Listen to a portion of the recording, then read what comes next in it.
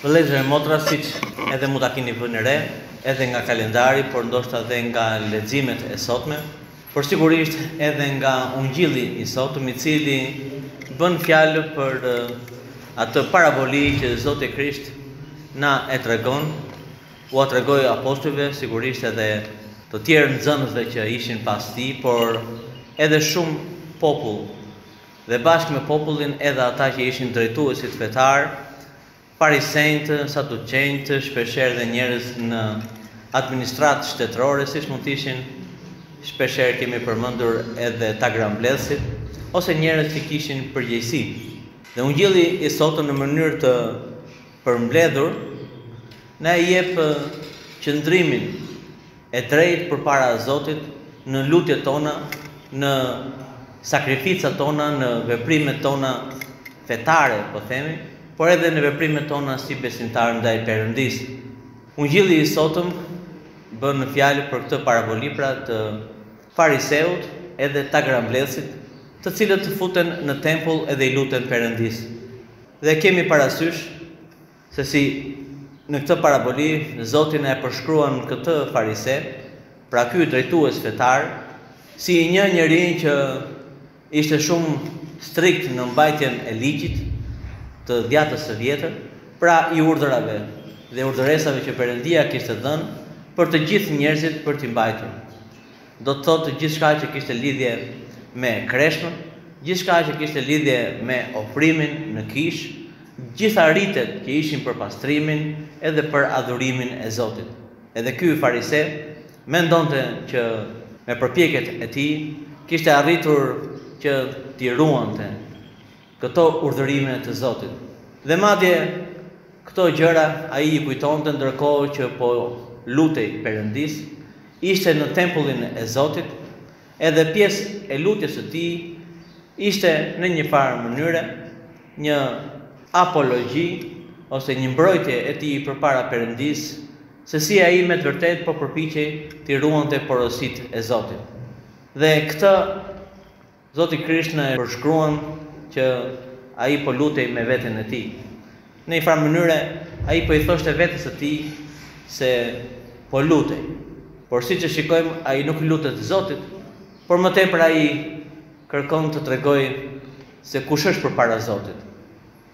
Dhe jo vetëm përpara Zotit, por sigurisht edhe përpara të tjerëve, sepse në tempull ai shikon edhe një tagrambledhës, pra një njeri nga administrata shtetërore romake në atë kohë, nga ata që ishin sunduesit, të cilët ishin, siç kemi thënë shpeshherë, njerëz të korruptuar, Dhe me të vërtetë edhe ky farise kur e shikonte këtë tagrambledhës, e dinte që ishte njeri mëkatar, por në vend që të kishte dhembshuri për të ose të lutej për të, ai e krahasonte veten edhe me të, e duke thënë të falënderoj o Zot, edhe këtu është edhe ironia, Që nuk jam as si ky mëkatari, si ky pra tagrambledhësi.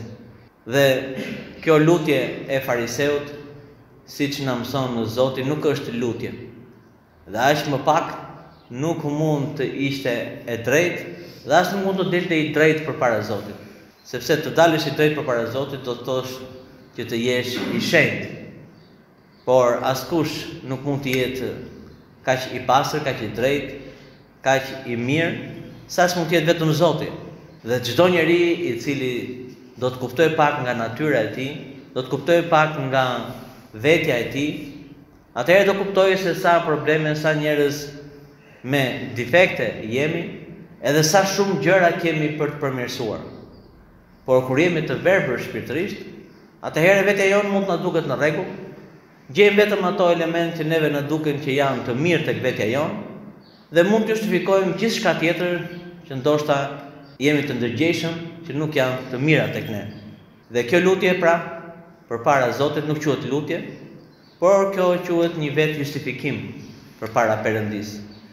E kundërta, thotë Zoti Krisht, ishte me tagrambledhësin, ndryshe nga fariseu.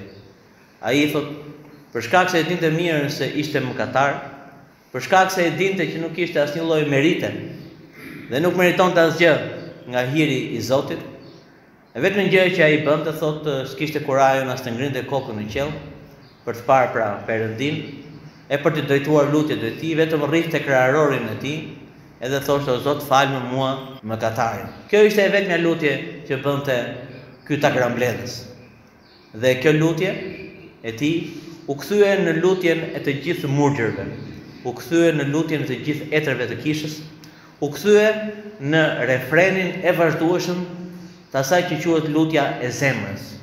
Në jetën murgjërore, pavarësisht asketizmit të madh, do të thotë heqja dorë nga jeta e botës, nga kënaqësitë e botës, nga martesa, nga ushqimet, nga pasuria, Por, një jetë e vetmuar, një jetë e përkushtuar lutjes, me kreshmë të madhe, por edhe me vigjilje do të thotë me ndëngjë zgjuar gjithë natën edhe me pak orë fjetje, megjithatë të gjitha këto nuk do të kishin sukses edhe nuk do të jepnin rezultatet e duhura, në qoftë se brenda zemrës së këtyre asketëve murgjërve nuk do të ngulitej thellë edhe bindshëm në qenien e tyre, lutja e këtij tagrambledhësi, O Zot, ki mëshirë për mua mëkatarin.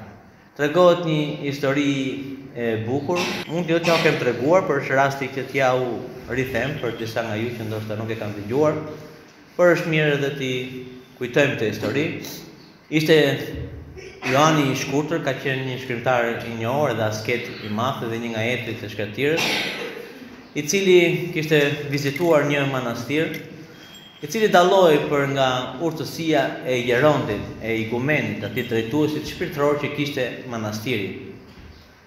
Edhe aty dëgjon për një histori, Se si një murg i ri, ndoshta jo shumë në moshë, por murg i ri, kishte vajtur në manastir, dikur kishte bërë një jetë pak po themi të mirë, kishte një farë statusi në shoqëri, megjithatë kishte vendosur t'i braktisë të gjitha dhe kishte ardhur në manastir.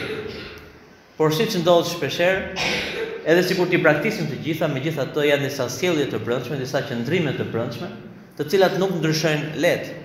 Ne mund të ndryshojmë format e jashtme, por nuk është e thënë që menjëherë do ndryshojnë edhe qëndrimi ynë i brendshëm.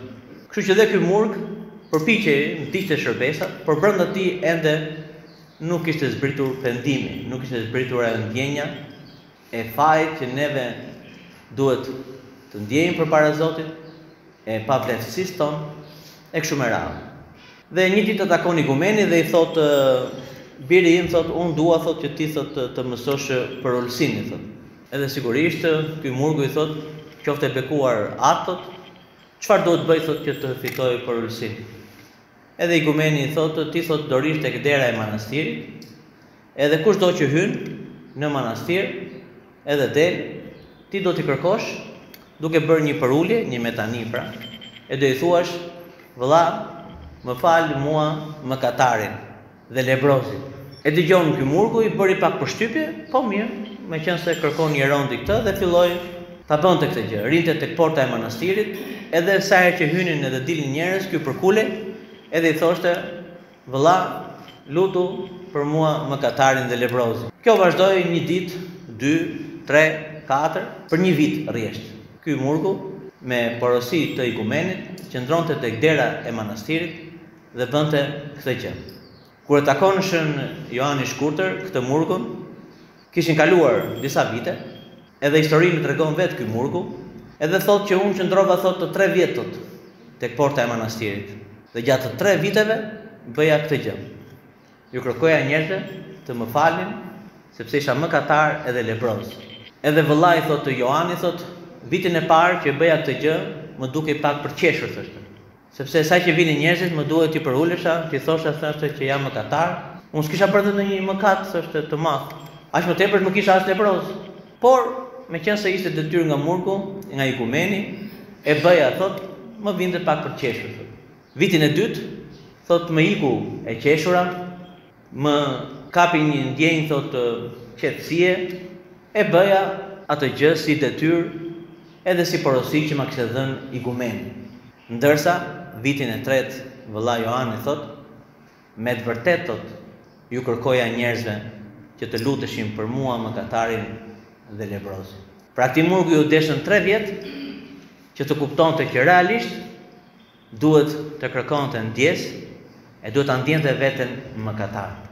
Edhe aq shumë u shenjtërua ky murg vetëm duke bërë këtë bindje tek igumeni i tij, sa që tregon Shën Joani pasi ishte larguar nga manastiri dhe kishte pyetur se si shkojnë gjërat atje dhe kishte pyetur pikërisht edhe për këtë murg, edhe kishte mësuar që ai murg me të vërtetë ishte ngjitur shumë në pendim edhe ishte ngjitur shumë në jetën shpirtërore, pikërisht duke ndjerë peshën e mëkatit që çdo njeri duhet ta ndjejë, pavarësisht se kemi bërë shumë ose pak, siç ndodh shpeshherë që e krahasojmë veten me të tjerët. Dhe thotë u mor vesh thotë shenjtëria e këtij murgu sepse në kohën që rrinte ke porta e manastirit, aty ishte edhe portieri i manastirit që kujdesej atje dhe për shkak se ai portieri ishte në moshë të madhe, kishte probleme shëndetësore. Edhe ky murgu i kishte premtuar që në qoftë se unë do vdes përpara teje, do t'i lutem Zotit që Zoti të të marri edhe ty.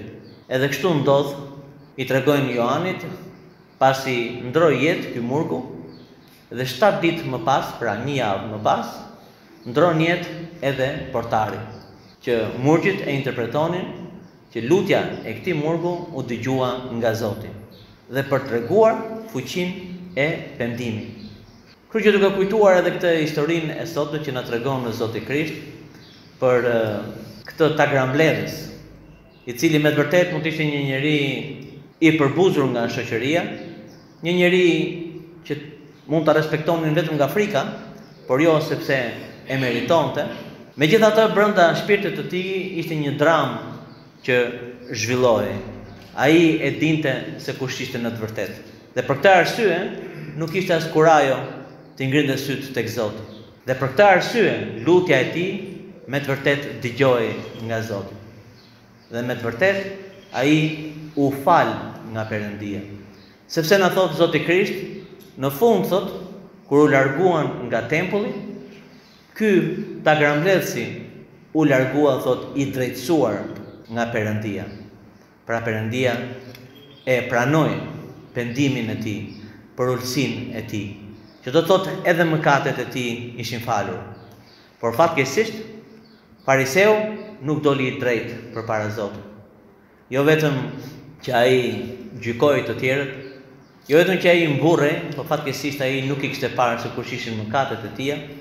Dhe kjo është fatkeqësia më e madhe, sepse njeriu kur nuk shikon mëkatet e tij, nuk ka mundësi dot as të pendohet. Për këtë arsye shumë etër të kishës Duke e ditur që ne jemi të verbër shpeshherë edhe nuk i njohim mëkatet tona, vazhdimisht e merrnin për vete çdo faj, e akuzonin veten e tyre për gjithë fajet e botës madje, sepse e ndjenin që me të vërtetë përpara Zotit të gjithë jemi mëkatarë. Dhe nuk është çudi që edhe apostull Pavli e quante veten më i madhi ndër mëkatarët, Jo sepse kishte mëkatuar më shumë se të tjerët, por siç e kuptojmë, njerëzit që ngjiten shpirtërisht i afrohen Perëndisë, gjithmonë e më tepër i afrohen dritës, i afrohen ndriçimit. Edhe e kuptojnë që ne nuk kemi asnjë lloj drite, asnjë lloj ndriçimi. Në qoftë se kemi diçka e marrim vetëm nga Zoti. Në qoftë se kemi diçka tonën, ajo është vetëm errësirë, edhe është vetëm hije. Për këtë arsye është e kottë të krahasohemi me njëri-tjetrin. Ajo që është e rëndësishme është t'i afrohemi Zotit. Dhe duke u afruar Perëndisë, e kuptojmë se sa të pavlerë jemi në qenësinë tonë, megjithatë e kuptojmë që në qoftë se kemi diçka, e kemi sepse vjen nga Zoti. Dhe e para gjë që vjen është falja nëpërmjet sigurisht pendimit. Dhe kisha na e ka vendosur këtë paravoli në këtë periudhë që quhet periudha e triodit e cila filloi këtë të diel. Në këtë të diel neve nxjerrim librin e triodit, shpeshherë në disa kisha e vendosin siç kemi këtë poltronin këtu, e vendosin librin e triodit në mënyrë që të gjithë besimtarët ta shohin Edhe t'u kujtojë atyre që kemi hyrë në këtë periudhë parapërgatitore për periudhën e Kreshmës. Janë këto tre javë që i paraprijnë Kreshmës së Madhe. Dhe kjo e diel është kjo e diel që kujtojmë pra Fariseun dhe Tagrambledhësin. Javën tjetër do kujtojmë një histori edhe një paraboli akoma dhe më të bukur, ndoshta më e bukura që mund të jetë në dhjatën e re, e djalit plangprishës. Dhe të dielën e tretë, që ka filluar triodi, kemi ditën e gjyqit të madh. Dhe pastaj fillojmë me Kreshmën e Madhe. T'i lutemi Zotit që me të vërtetë të na ndriçojë që të shikojmë dobësitë tona, të shikojmë fajet tona, edhe të mos i gjykojmë ashtu siç thotë edhe lutja e Shën Efremit, të mos gjykojmë vëllain ose motrën tonë. Amin.